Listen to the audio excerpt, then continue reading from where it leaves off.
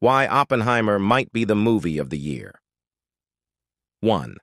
Stellar performances. Embodied by Cillian Murphy as J. Robert Oppenheimer, the cast delivers nuanced and captivating performances, including acclaimed names like Robert Downey Jr. and Matt Damon. 2. No CGI. The 52-year-old filmmaker claimed that Oppenheimer has zero CGI usage in the film, and that's a very bold claim in modern cinema. 3. Mushroom cloud-like drama. Nolan's recent edition presents a sweeping portrayal of World War II-era events, offering a grand-scale character study that immerses viewers in a crucial period of history.